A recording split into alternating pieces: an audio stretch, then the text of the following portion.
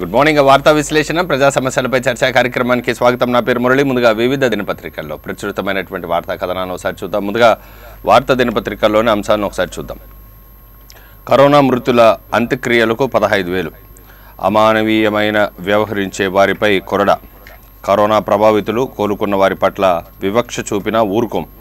వైద్యం చేయడానికి నిరాకరిస్తే క్రిమినల్ చర్యలు. ఆసుపత్రుల గుర్తింపు రద్దు. ముఖ్యమంత్రి జగన్ అనేటువంటి వార్తనిచ్చారు.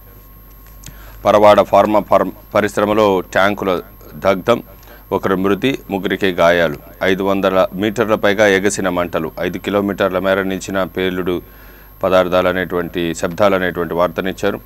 మరో నలభై మూడు మంది బలి మరింతగా వ్యాపిస్తున్న వైరస్ ఒక రోజులోనే పంతొమ్మిది వందల పదహారు మందికి పాజిటివ్ కేసులు అనేటువంటి వార్తనిచ్చారు.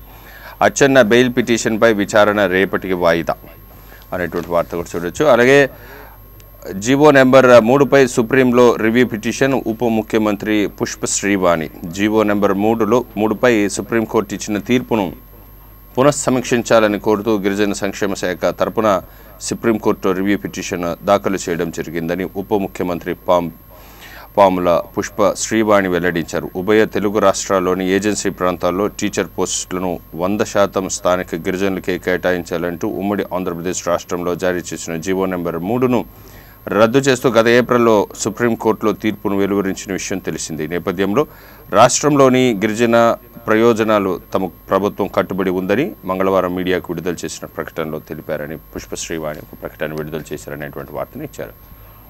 రెండు వేల పంతొమ్మిదిలో ఆర్థిక మాధ్యమే మంత్రి బుగ్గాన రాజధానిలో పెరుగుతున్న కరోనా బాధితులు ఎమ్మెల్సీగా మాణిక్య వరప్రసాద్ ప్రమాణం వికాస్ దుబే అనుచరుడి అరెస్ట్ అనేటువంటి వార్తనిచ్చారు ఇక రాజస్థాన్ విషయానికి వస్తే ముదిరిన రాజ సంక్షోభం పైలట్పై వేటు రెండు పదవుల నుంచి తొలగింపు రాజస్థాన్ కాంగ్రెస్ చీఫ్గా కొత్త నేత నియామకం గవర్నర్తో ముఖ్యమంత్రి గెహ్లాట్ భేటీ అనేటువంటి వార్తనిచ్చారు. ఆపరేషన్ ముస్కాన్ కోవిడ్ నైన్టీన్ ప్రారంభించిన డీజీపీ గౌతమ్ సవాంగ్ వెయ్యికి పైగా బాల కార్మికుల గుర్తింపు అనేటువంటి వార్తనిచ్చారు. మరో వారంలో పది లక్షల కేసులు దేశంలో రికవరీ రేటు పెరుగుతుందంటున్న కేంద్ర ప్రభుత్వం. ఇక కరోనా విషయానికి వస్తే ప్రపంచంలో మొత్తం బాధితులు ఒక కోటి ముప్పై మూడు లక్షలు. మరణాలు ఐదు లక్షల డెబ్భై ఏడు వేలు. భారతదేశంలో మొత్తం పాజిటివ్ కేసులు తొమ్మిది లక్షల ఆరు వేల ఏడు వందల యాభై రెండు. మరణాలు ఇరవై మూడు వేల ఏడు వందల ఇరవై ఏడు. బీహార్లో మళ్ళీ డాక్ లాక్డౌన్. డిప్యూటీ కలెక్టర్కు డిప్యూటీ కలెక్టర్ కరోనా సోకి మృతి కోల్కతా. బీజేపీ నేత రవీంద్ర రైనాకు కరోనా వైరస్ అనేటువంటి వార్తను వార్తా దినపత్రికలో ఇచ్చారు. ఇక ప్రజాశక్తి దినపత్రికలోని అంశాన్ని చూద్దాం. చికిత్సకు నిరాకరిస్తే గుర్తింపు రద్దు. కరోనా మృతుల అంత్యక్రియలు పదహైదు వేలు ప్రభుత్వ ఆసుపత్రిలో పదిహేడు వేల మంది డాక్టర్లు పన్నెండు వేల మంది నర్సులు పోస్టుల భర్తీకి అనుమతి సమీక్షలో సీఎం జగన్ అనేటువంటి వార్తను ఇచ్చారు. పైలట్కు ఉద్వాసన డిప్యూటీ సీఎం పీసీసీ అధ్యక్ష పదవి నుంచి తొలగింపు ఆయన బీజేపీ చేతిలో కీలుబొమ్మ గెహ్లాట్ అనేటువంటి వార్తనిచ్చారు ఫార్మా సిటీలో మరో ప్రమాదం అనేటువంటి వార్తనిచ్చారు పది లో అంతా పాస్. అధికార ఉత్తర్వులు జారీ చేసిన ప్రభుత్వం. బ్యాంకుల్లో కన్సర్టోరియం. ఐదు జిల్లాల్లో ఇరవై ఎనిమిది ప్రాజెక్టుల కసరత్తు ముప్పై ఆరు వేల కోట్ల ప్రతిపాదనలు అనేటువంటి వార్తనిచ్చారు. ఆ వీధిలో అన్ని ఇళ్ళకు బలవంతంగా కాషాయ రంగు. ఉత్తరప్రదేశ్లో బీజేపీ మంత్రి దౌర్జన్యం కేసు పెట్టిన వ్యాపారి. మార్కెట్లో మళ్ళీ కరోనా గుబులు. సెన్సెక్స్ ఆరు వందల అరవై ఒకటి పాయింట్ల పతనం అనేటువంటి వార్తనిచ్చారు. ఇక సాక్షి పేపర్లోని అంశాలకు చూద్దాం. వరివా సునీత లేడీ అండ్ ఆర్డర్ అనేటువంటి వార్తనిచ్చారు. ఆమె మంచి కోసమే చెప్పి ఉంటారు. వదిలే వాళ్ళు పెద్దవాళ్ళని. అంటే డ్యూటీని వదిలేయమనా? లా అండ్ ఆర్డర్ని వదిలేయమనా? మనమేం చేయలేం. చేతులు ఎత్తేయమనా? పోలీస్ అయ్యింది. పట్టుకోవడానికి కానీ వదిలేయడానికి కాదు. అందుకే మొత్తంగా ఉద్యోగాన్నే వదిలేసింది సునీత యాదవ్ అనేటువంటి వార్తను ఇచ్చారు. సో మరో వార్తను చూద్దాం. నేడు పది పరీక్షలు ఫలితాలు వేట వెల్లడి అనేటువంటి వార్తనిచ్చారు వెల్లడించనున్న CBSE central board of secondary education పదవ తరగతి తుది ఫలితాలను జూలై పదిహేనున బుధవారం విడుదల చేయనుంది. ఈ విషయాన్ని కేంద్ర మానవ వనరుల అభివృద్ధి శాఖ మంత్రి నిషాంక్ మంగళవారం వెల్లడించారు. కరోనా నేపథ్యంలో కొన్ని సబ్జెక్టులకే సిబిఎస్ఈ పరీక్షలు నిర్వహించిందనేటువంటి వార్తనిచ్చారు. భారత్లో కరోనా కేసులు తొమ్మిది లక్షలు. ఒప్పందానికి ఇరాన్ బ్రేక్ చహ చబహార్ నుంచి భారత్ అవుట్ అనేటువంటి వార్తనిచ్చారు ఆన్లైన్ బోధనకు కొత్త లైన్ ఒకటి నుంచి ఎనిమిది తరగతులకు రోజు రెండు క్లాసులే. ఒక్క సెషన్కు ముప్పై నుంచి నలభై ఐదు నిమిషాలే. అంతకు మించి ఉండడానికి వీలు లేదు. ఆన్లైన్ బోధనపై హెచ్ఆర్డి మార్గదర్శకాలు.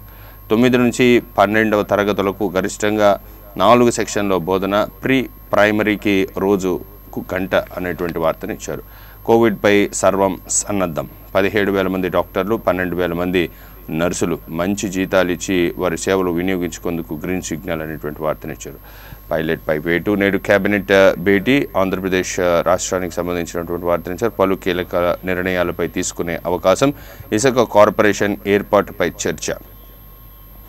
వైఎస్ జగన్ అధ్యక్షతన బుధవారం సచివాలయంలో రాష్ట్ర మంత్రివర్గ సమావేశం జరగనుంది. ఇందులో పలు కీలక అంశాలపై చర్చించున్నారు ఇసుక సరఫరాకు ప్రత్యేక కార్పొరేషన్ ఏర్పాటుపై చర్చను చర్చించనున్నట్లు అధికార వర్గాలు తెలిపాయి. ప్రభుత్వ విద్యాసంస్థలో చేపట్టిన నాడు నేడు కార్యక్రమానికి కేబినెట్ ఆమోదం తెలపనుందనేటువంటి వార్తనించారు టెన్త్లో గ్రేడ్ పాయింట్లు లేవు.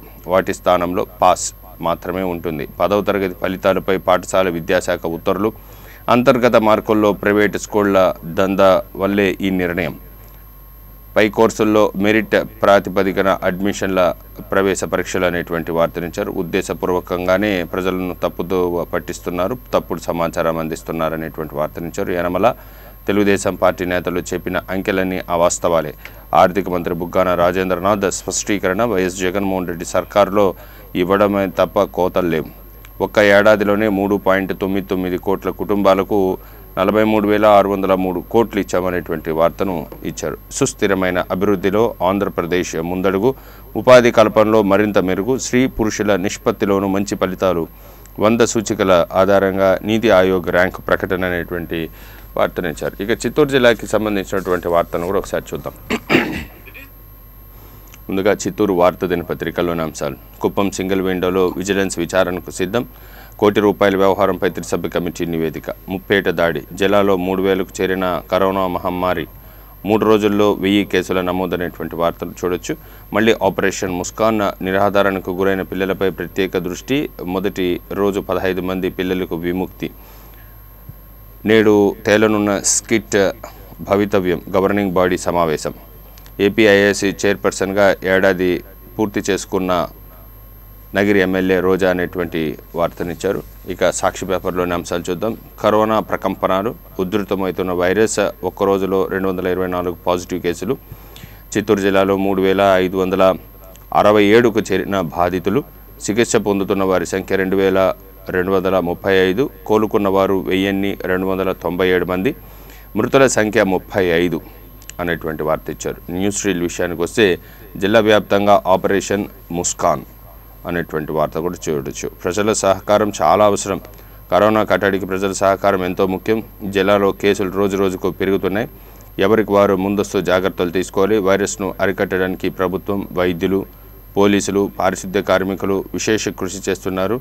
అత్యవసరమైతే తప్ప ఇళ్ళ నుంచి బయటికి రాకండి. ప్రస్తుతం చిత్తూరు జిల్లాలో ఉన్న పరిస్థితి జనం అర్థం చేసుకోవాలని నారాయణ్ భట్ గుప్తా వెల్ విజ్ఞప్తి చేశారనేటువంటి వార్తనిచ్చారు.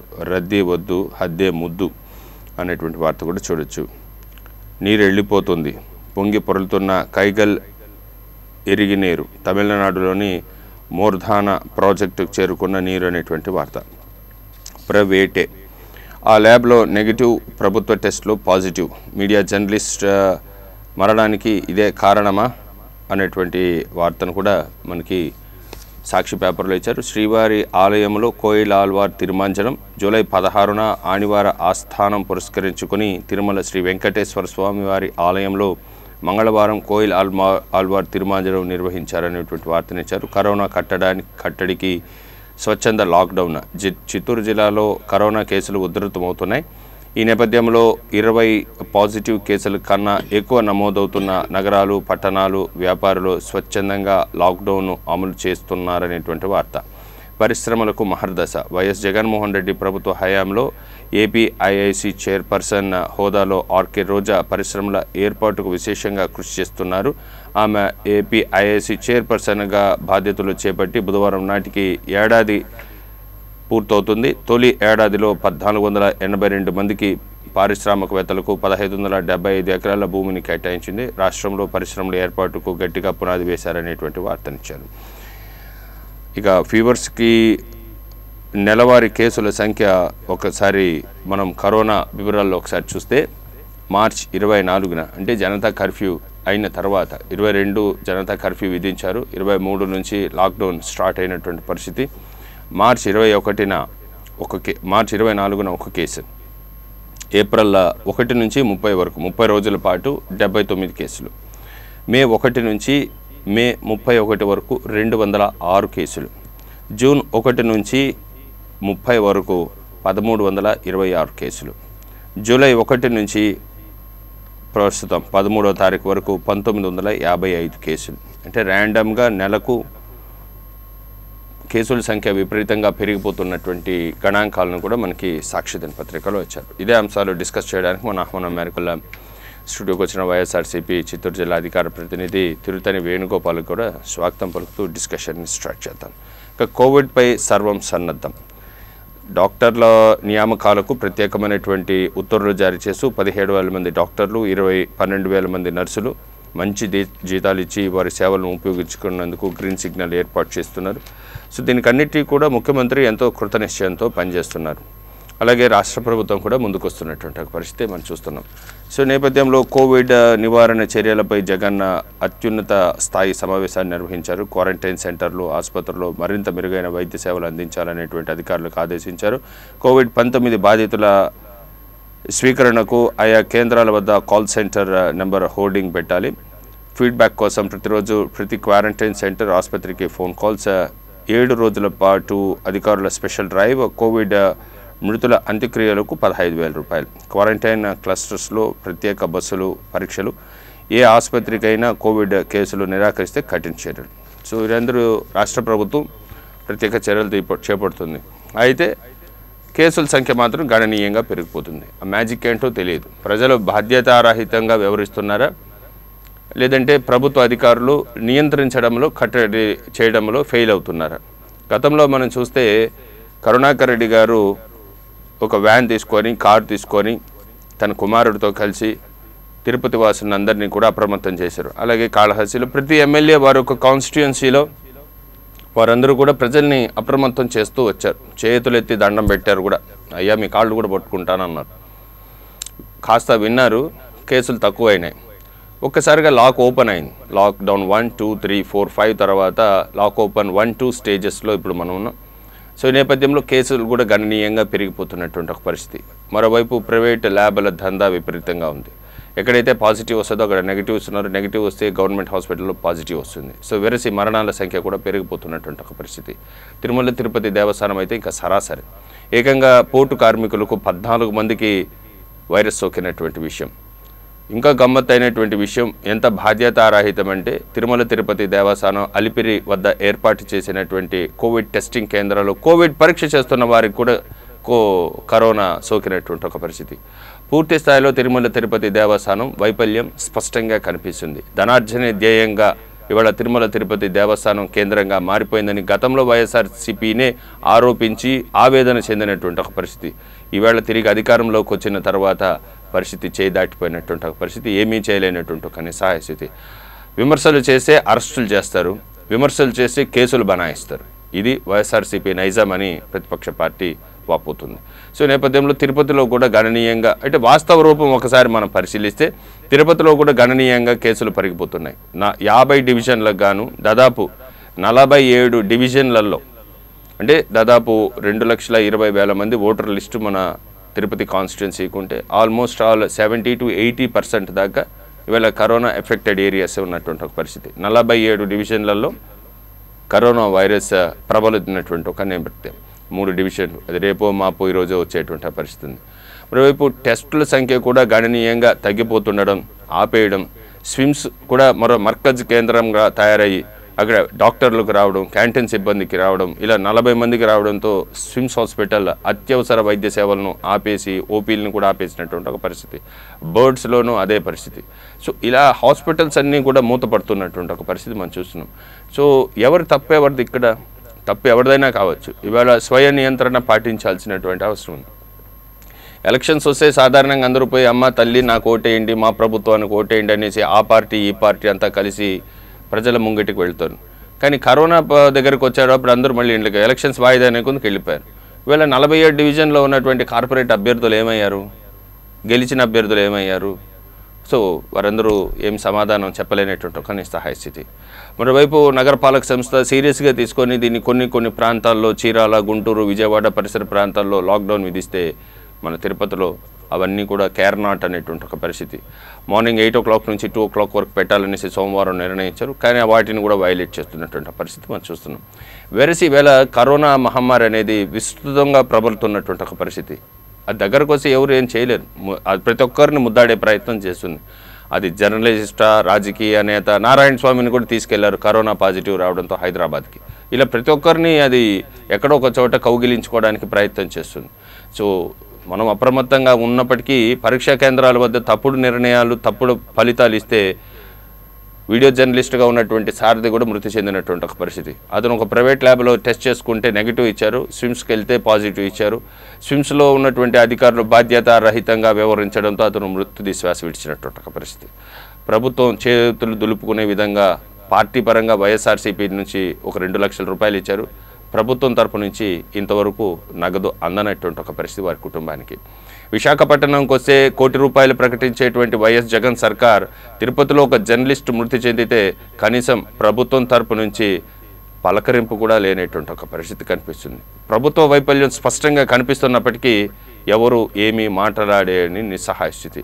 ఫ్రంట్ లైన్ వారియర్స్ అంటారు. పోలీసుల్ని పెట్టారు ఫ్రంట్ లైన్ వారియర్స్గా డాక్టర్స్ని పెట్టారు అలాగే పారిశుద్ధ్య కార్మికులను పెట్టారు. మరి జర్నలిస్టులు ఏం పాపం చేశారనేసి వారికి ఫ్రంట్ లైన్ వారియర్స్లో పెట్టారు. ప్రతి అంశాన్ని కవర్ చేస్తున్నారు. ప్రతి ఇష్యూస్ని వాళ్ళు రోడ్డుపైకి వచ్చి కెమెరామెన్లు కెమెరా తీసుకొని ఫోటోగ్రాఫర్లు కెమెరాలు తీసుకొని ఫోటోలు చిత్రీకరించి పేపర్లో ప్రకటిస్తారు. ప్రచురించడానికి వారు ఒక సాహసోపేతమైనటువంటి చర్యలకు పూనుకుంటే వారికి ఆ యాభై లక్షల రూపాయల ఇన్సూరెన్స్ వర్తింపచేయరు రెండు లక్షలు ఇచ్చారు వైఎస్ఆర్సీపీ. తెలుగుదేశం పార్టీ అది కూడా ఇలా జనసేన పార్టీ ఇలా బీజేపీ ఇలా సో పార్టీలు మాత్రం వారి కార్యక్రమాలు కవర్ చేయాలంటే పాత్రికేయ మిత్రులు కావాలి. ఆ పాత్రికేయ కుటుంబం కష్టాల్లో ఉంటే మిన్నకుండిపోతారు కొవ్వొత్తి పెట్టి సంఘీభావం తెలియజేసి నమస్కారం పెట్టి మీకు మేము ఉన్నాం మేము చూస్తాం ఏం చేశారు? రెండు రోజులు అయిపోయింది చనిపోయి. ఆ కుటుంబానికి ఏం చేయగలిగారు మీరు? ఏమీ చేయలేనటువంటి కానీ స్థితి రైట్ ఇవన్నీ ప్రభుత్వం ఒకలాగా యాక్ట్ అవుతుంది. జగన్మోహన్ రెడ్డి గారు కింద ఉన్నటువంటి దిగుస్థాయి అధికారులు ఒకలాగా యాక్ట్ అవుతున్నారు. ఎక్కడ వైఫల్యం జరుగుతుంది? రోజు రోజుకి తిరుపతిలో అరవై డెబ్బై ఎనభై తొంభై వంద నూట ముప్పై ఐదు highest landmark one thirty five cases reach అవుతున్నటువంటి ఒక పరిస్థితి. సో రుయా నిండిపోయింది. మెటర్నిటీ హాస్పిటల్ నిండిపోయింది. ఇంకా స్విమ్స్ హాస్పిటల్ ఉంది స్విమ్స్ బర్డ్స్ అవి కూడా నిండిపోయిందంటే ఇంకా బయటకు రావాల్సినటువంటి పరిస్థితి. సో ప్రజలు ఇక్కడైనా అప్రమత్తంగా ఉండండి. సో అప్రమత్తతో పాటిస్తూ ఉన్నా కానీ వచ్చేస్తున్నది అది. సో అది ఒక ఫేట్ కింద ఆలోచించాల్సింది విధిరాత కింద ఆ విధిరాత చెరిపేస్తే ఎవరేమి చేయలేనటువంటి నిస్సహాయ ఈ నేపథ్యంలో నగరపాలక సంస్థ ఎక్కడ ఫెయిల్ అయింది? పోలీస్ యంత్రాంగం ఎక్కడ ఫెయిల్ అయింది? పొలిటీషియన్స్ ప్రధానంగా రాజకీయ పార్టీ నేతలు అన్ని పార్టీలు ఎక్కడ ఫెయిల్ అయ్యాయి? ఈ అంశాలు కూడా మాట్లాడేటువంటి ప్రయత్నం చేస్తాం. గుడ్ మార్నింగ్ వేణుగోపాల్ గారు. ఈవేళ కోవిడ్పై సర్వం సన్నద్ధం అంటున్నారు. పదిహేడు వేల మంది డాక్టర్స్ నియామకం అంటారు వేల మంది నర్సులు అంటారు. కానీ కరోనాని కట్టడి చేయడంలో ఎక్కడో వైఫల్యం స్పష్టంగా కనిపిస్తుంది. ఈవేళ నేతి బీరకాయల్లో నేతి ఎంత నిజమో కట్టడి కరోనా పైన కూడా అంతే నిజంగా కనిపిస్తుంది. సో దీనిపైన మీరేమంటారు? సార్ వైఫల్యాలు ఎక్కడ కనిపిస్తున్నాయి? ముందుగా సిటీ కేబుల్ యాజమాన్యానికి అదేవిధంగా సిబ్బందికి ప్రేక్షకులకి శుభోదయము. మన రాష్ట్రంలోనే కాదు దేశంలో కానీ ప్రపంచ దేశాల్లో మొత్తము ఏడు వందల యాభై కోట్ల మంది జనము ఈరోజు ఈ కరోనా గుర్తు ఇబ్బంది పడే పరిస్థితి అయిపోయింది. ఎక్కడ చూసినా కరోనా ఏ విధంగా వస్తుంది ఏ విధంగా మనము జాగ్రత్తలు తీసుకోవాలి అని ఎగ్జిక్యూట్ చేస్తా ఉన్నా కూడా కరోనా అనేది అటాక్ అయిపోతూ ఉంది. ఈరోజు మన రాష్ట్రంలో పదకొండు లక్షల తొంభై ఐదు వేల ఏడు వందల అరవై ఆరు టెస్టులు చేస్తే దాంట్లో దాదాపు ముప్పై మూడు వేల పంతొమ్మిది కేసులు నమోదైంది. దాంట్లో పదహైదు వేల నూట నలభై నాలుగు కేసులు ఆసుపత్రిలో చికిత్స పొందుతూ ఉంటే పదిహేడు వేల నాలుగు వందల అరవై ఏడు మంది డిశ్చార్జ్ అయ్యారు. నాలుగు వందల ఎనిమిది మంది చనిపోయారు మన రాష్ట్రంలో. ఇది ప్రభుత్వ లెక్కల ప్రకారము.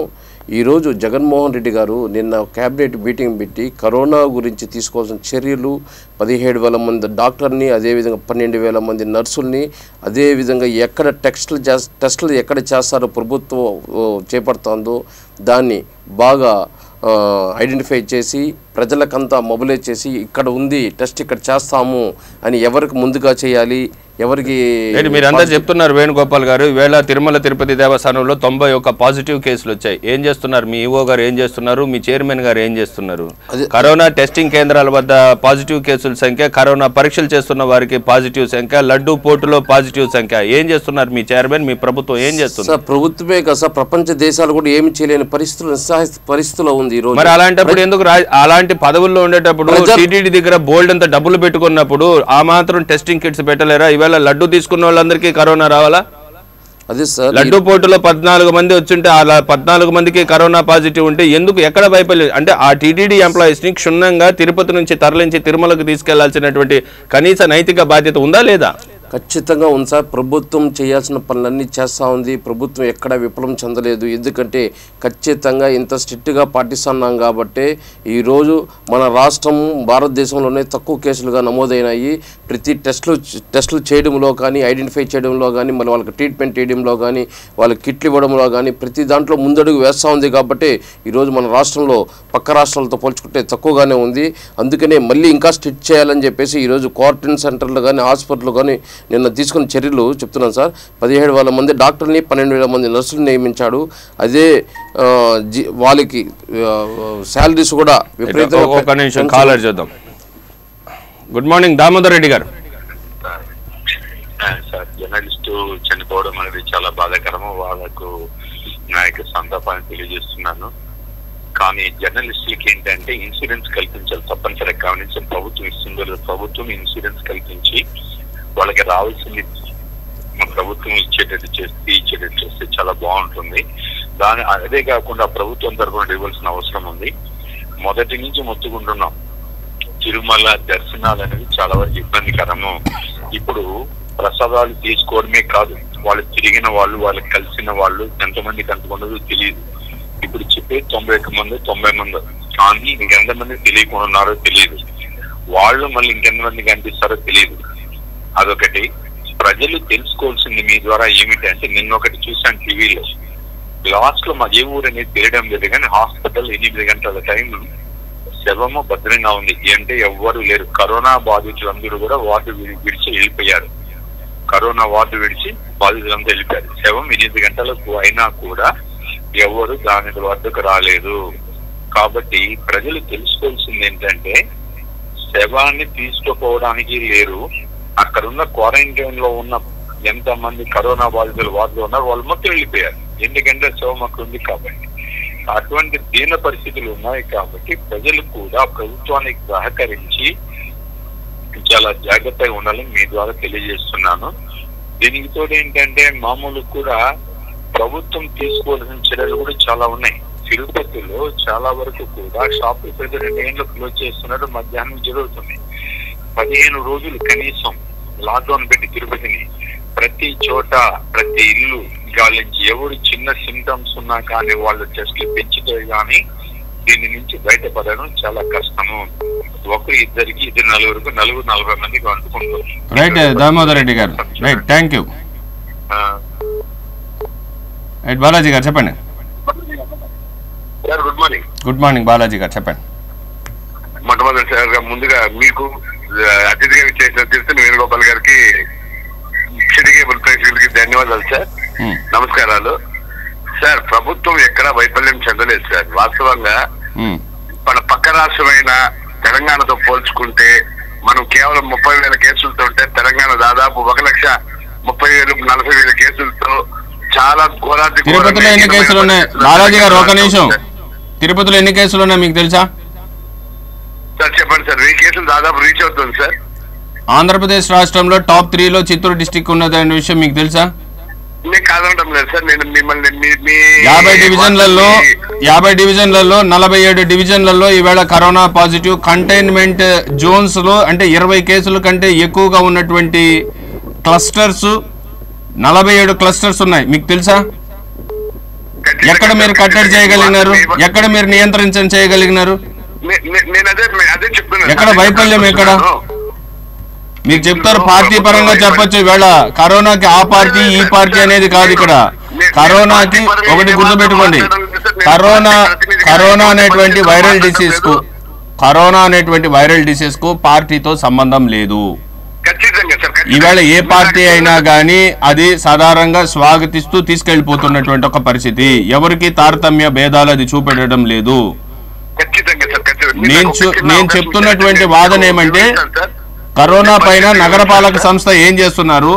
పోలీస్ అధికారులకి పోలీస్ అధికారులు బుల్లెట్లో ఉన్నటువంటి సైలెన్సర్ తీయడం ఇంపార్టెంటా?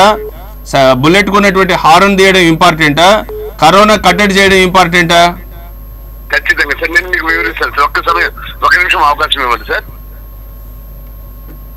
ఖచ్చితంగా సార్. ప్రభుత్వం అయితే ఎటువంటి వైఫల్యం చెందలేదు సార్. ఎమ్మెల్యే గారు స్వయంగా తన కుమారుడితో నేను ఇక్కడ ఎమ్మెల్యే గారు ఫెయిల్ అయ్యారా? ఎమ్మెల్యే గారు ఫెయిల్ అయ్యారా? ఇంకొకటి అనేది నేను ఇక్కడ ప్రస్తావించట్లేదు. కానీ ఇక్కడ ఫెయిల్యూర్స్ అనేది ఇక్కడ ఫెయిల్యూర్స్ అనేది చాలా స్పష్టంగా కనిపిస్తుంది.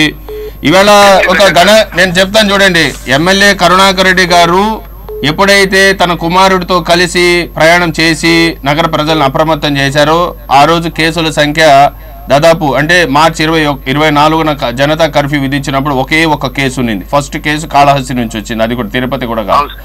ఏప్రిల్ ఒకటి నుంచి. ముప్పై తారీఖు వరకు కేవలం డెబ్బై తొమ్మిది కేసులే. అలాగే మే ఒకటి నుంచి ముప్పై ఒకటి వరకు రెండు వందల ఆరు కేసులు. మరి రెండు వందల ఆరు కేసుల నుంచి ఏకంగా ఇవాళ రెండు వేల కేసులకు వెళ్ళినటువంటి ఒక పరిస్థితి చిత్తూరు జిల్లాలో ఎస్పెషల్లీ తిరుపతిలో దాంట్లో పదమూడు వందల యాభై కేసులు. అంటే సగము చిత్తూరు జిల్లాలో ఉన్నటువంటి అరవై ఆరు మండలాలకు గాను ఈవేళ తిరుపతి ఒక్క మండలం కేంద్రముగా ఉన్నటువంటి రెండు లక్షల పాపులేషన్కి పదమూడు వందల కేసులు రిజిస్టర్ అయ్యాయంటే అధికార యంత్రాంగం ఫెయిల్ కాకపోతే మరెవరు ఫెయిల్ అయ్యారు? నేను ఖచ్చితంగా సార్ నేను చెప్తున్నాను ఒక్క నిమిషం సార్ నా వివరణ కూడా తీసుకోండి సార్ మీరు. ఎమ్మెల్యే గారు తన కుమార్తో కలిసి కుటుంబాన్ని కూడా పక్కన పెట్టి ప్రజల కోసం చేతులెత్తి ముక్కుతో కాళ్ళు పట్టుకుంటానని అభ్యర్థిస్తూ ఎంతో దీనాది దీనంగా వివరించి పరిస్థితిని మన దేశ ఆర్థిక పరిస్థితి ఏంటి? మన దేశంలో వైద్య సౌకర్యాల పరిస్థితి ఏంటి? మనం ఎంత వరకు మీరు మళ్ళీ కూడా అక్కడికే వెళ్తున్నారు. ఇక్కడ ఎక్కడా కానీ ఎమ్మెల్యే తప్పు చేశారని ప్రస్తావించలేదు. కేవలము అధికార యంత్రాంగంలో ఉన్నటువంటి పెద్దలు ఇవాళ పోలీస్ యంత్రాంగం కావచ్చు రెవెన్యూ యంత్రాంగం కావచ్చు లేదంటే మున్సిపల్ నగరపాలక సంస్థకు సంబంధించిన మీరే చెప్పండి మీరు ఒక డివిజన్లో మీరు కూడా కార్పొరేట్ అభ్యర్థి. గతంలో రెడ్ జోన్ ఉన్నటువంటి ప్రాంతంలో నగరపాలక సంస్థకు చెందినటువంటి పారిశుద్ధ్య కార్మికులు కానీ హెల్త్ అండ్ శానిటైజేషన్ సిబ్బంది ఏ విధంగా పనిచేస్తున్నారు? ఈ రోజు ఏ విధంగా పనిచేస్తున్నారు? అది ఇది వాస్తవం సార్ ఇది వాస్తవం నేను కాదనడం లేదు. యంత్రాంగం కొద్దిగా నిర్లక్ష్య ధోరణి వహిస్తూ కొద్దిగా పనిచేయకపోవడం అన్నది ఆ అంశం పైనే చెప్పండి ఇప్పుడు. ఆ కొద్దిగా అనేది ఎంత ఆ కొద్దిగా రెప్పపాటు తప్పు కూడా పెను ప్రమాదానికి దారి తీసేటువంటి అవకాశం ఉంది. ఆ రెప్పపాటు తప్పుని చేయాల్సినటువంటి ఆవశ్యకత ఏం ఏర్పడింది? సార్ అదే సార్ అదే చెప్తున్నాను sir. At the same time ప్రభుత్వము ప్రభుత్వ యంత్రాంగము అధికారులు ఎంతగా కృషి చేస్తున్నా కూడా మీరు చెప్తున్నారు? అధికారులు ఏ- చేస్తున్నారు? కృషి ఏం చేస్తున్నారు? కృషి ఏం చేస్తున్నారు చెప్పండి ఇప్పుడు? ఎక్కువగా ఉంది సార్. బాలాజీ గారు ఒకటి చెప్తాను. complete. ఒక సెకండ్. నిన్న కూడా ఉదయం మార్కెట్కి వెళ్ళాను. మార్కెట్ వెళ్ళేటప్పుడు చూస్తున్నా ఈ రోజు కూడా మాస్కులు లేకుండా ఒక్కో టూ వీలర్ మీద ముగ్గురు నలుగురు వెళ్తున్న పరిస్థితి. మరి అప్పుడు పోలీసులు ఏం చేస్తున్నారు? పోలీసులు ఏం చేస్తున్నారు? పోలీసులు ఏం చేస్తున్నారు? బాలాజీ గారు, పోలీసులు ఏం చేస్తున్నారు? పోలీసులు. పోలీస్ యంత్రాంగం ఏం చేస్తుంది అవును సార్ ఉదయం ఆరింటికి ఐదింటికి కూడా అది పోలీస్ వైఫల్యం కాదా? ఒక్కొక్కరికి ఒక పోలీస్ అధికారులు అది పోలీస్ పోలీస్. వైఫల్యం కాదా ప్రజలు కూడా తమ తమ వంతు బాధ్యత నిర్వర్తించాలి కదా సార్ ప్రజలు కూడా ఇది భయంకరమైన మహమ్మారి. మనం మన వంతు బాధ్యత నిర్వర్తించాలి. అధికారులు రాజకీయ నాయకులు ఎమ్మెల్యేలు ఎంపీలు ఇంతమంది పాటుపడుతూ మన బాగు కోసం మన రక్షణ కోసం చెప్తున్న కనీస ప్రమాణాలు పాటించాలన్న బాధ్యత ప్రజలు కూడా ఉండాలి కదా సార్. అదే ఇప్పుడు నరేంద్ర మోడీ గారు రైట్ బాలాజీ రైట్. ప్రజలు ఏం చెప్తున్నారు? నరేంద్ర మోడీ గారు ఏం చెప్తున్నారంటే నేను చేయాల్సిందంతా చేశాను ప్రజలే చేయాలంటున్నారు. ఇప్పుడు ప్రభుత్వాలు కూడా రాష్ట్ర ప్రభుత్వాలు మేము చేయాల్సింది చేశాం ఫెయిల్యూర్స్ మీరే అండ్ ప్రజలపై నెట్టే ప్రయత్నం చేస్తున్నారు. Good morning sir good morning sir good morning hello good morning చెప్పండి సార్ మీరు ఇప్పుడు ఏదైతే విశ్లేషణ చేస్తున్నారో సార్ దాని ప్రకారము మీరు ఎంతసేపు గవర్నమెంట్ గవర్నమెంట్ అని మాట్లాడుతున్నారు కానీ ప్రజలు ఎంత బాధ్యతగా ఉంటున్నారు నేను నాకు ఇప్పుడు ఏదైనా ఒక ప్రాబ్లం వచ్చింది. సో నేను ఇది బయటికి వెళ్తే ఇది ప్రజల్లోకి వెళ్తుంది అని ఏ ఏ ఒక్కరు మీద ఎంతసేపు గవర్నమెంట్ తప్పు ఉంది లేదు political parties are not awaring the people అని మాట్లాడుతున్నారు కానీ అవును. ప్రజలకి మీరు ఎందుకు చెప్పట్లేదు? అబ్బా ఇట్లా చేస్తే ఇట్లా అవుతుంది. ఇప్పుడు మీరు ఇంతకు ముందు నేను ఒకటి చెప్తాను. ఒక విషయం. కరెంట్ నేను కంప్లీట్ చేశాను. ఇప్పుడు కరెంటు బిల్లు కట్టారు. కరెంటు బిల్లు ఎవరు కట్టిస్తున్నారు? ప్రభుత్వమే కదా కట్టేది. ప్రజలందరూ కూడా కరెంటు బిల్లు కడుతున్నారు కదా. వాటర్ ట్యాక్స్ కడుతున్నారు కదా. ప్రాపర్టీ ట్యాక్స్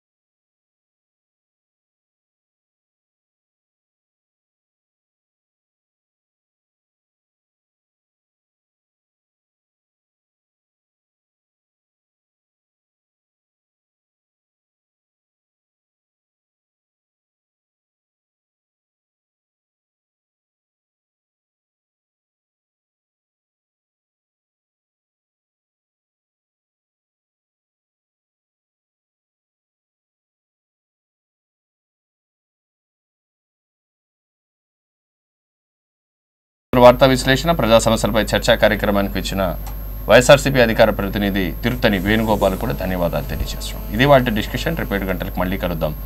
అందరికి సెలవు నమస్కారం.